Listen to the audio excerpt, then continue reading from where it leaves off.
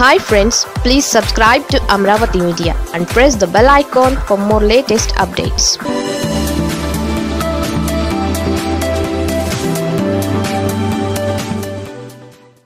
అటు తిరిగి ఇటు తిరిగి మళ్ళీ వైసీపీలోకి. టీడీపీకి అక్కడ షాక్. ఎంపీ కావాలనే లక్ష్యంతో మూడు పార్టీలు మారినా ఆయన ముచ్చట తీరలేదు.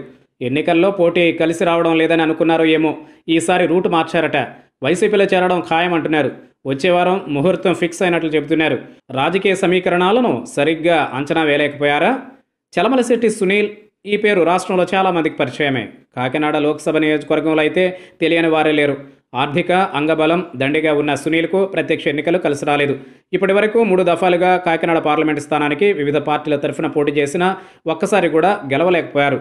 రాజకీయ సమీకరణలను సరిగ్గా అంచనా వేయలేక పోటీ చేసిన ప్రతిసారి అపజయం పాలయ్యారు. రెండు వేల తొమ్మిదిలో పీఆర్పీ రెండు వేల పద్నాలుగులో వైసీపీ రెండు వేల పంతొమ్మిదిలో టీడీపీ నుంచి పోటీ. రెండు వేల తొమ్మిదిలో ప్రజారాజ్యం రెండు వేల పద్నాలుగులో వైసీపీ రెండు వేల పంతొమ్మిదిలో టీడీపీ నుంచి కాకినాడ ఎంపీగా బరిలో దిగారు సునీల్.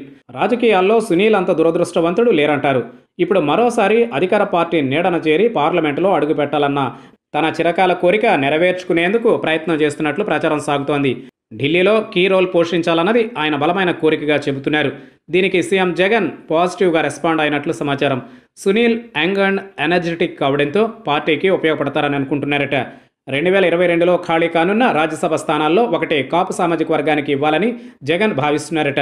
ఆ సీటును సునీల్కి ఇవ్వడానికి సీఎం జగన్ ఓకే చెప్పేశారని అనుకుంటున్నారు. ఒప్పందం కుదరడంతో త్వరలో తన బలగంతో సునీల్ వైసీపీలో చేరడానికి రంగం సిద్ధం చేసుకుంటున్నారు. వైసీపీలో సునీల్కు ప్రాధాన్యం ఇవ్వడం వెనుక రాజకీయ కారణాలు ఉన్నాయట. వచ్చే ఎన్నికల్లో బీజేపీ జనసేనలు సునీల్కు టికెట్ ఇచ్చే అవకాశాలు ఉన్నాయట. ఒకవేళ టీడీపీలోనే కొనసాగితే ఆ పార్టీని ఆర్థికంగా ఆయన అండగా ఉండే వీలుంటుంది. అందుకే సునీల్ను వైసీపీలో చేర్చుకుంటే ప్రత్యర్థులు బలపడకుండా చేయవచ్చని వైసీపీ పెద్దలు లెక్కలేసుకుంటున్నారట.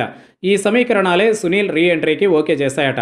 కాపు ఓటు బ్యాంకు కోసం బీజేపీ జనసేన పావులు కదుపుతుండటంతో ఆ సామాజిక వర్గానికి చెందిన బలమైన నేతలకు వైసీపీలో పెద్దపీట వేయబోతున్నారట.